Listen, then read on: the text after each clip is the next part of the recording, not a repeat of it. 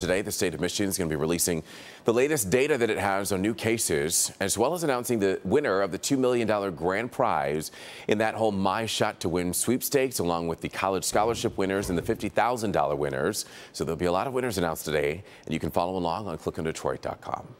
And now to flooding in Michigan. The fourth highest flood since the 1950s left a mess for homeowners in Hamburg Township. There's concern as the flooding is happening more frequently and the water just has no place to go. So the township is working with the U.S. Army Corps of Engineers to try and find a solution. And homeowners recently formed the group Residents Working Against Huron River Flooding.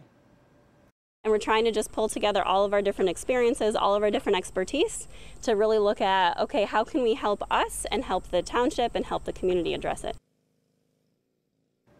The group is planning to hold a community meeting next Saturday. We have posted complete details if you want to go and click on clickondetroit.com. Tonight, the discussion will continue over a proposed development in Wyandotte, where the process has taken a little bit longer than normal. Plans for the former McKinley Elementary School have changed since the development was first proposed.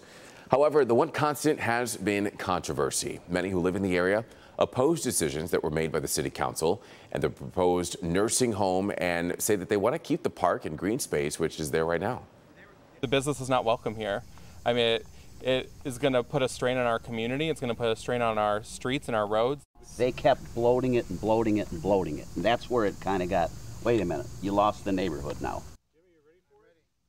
So tonight at 7, the Wyandotte City Council will hear yet another change to the, to the development, and they'll also hear from homeowners.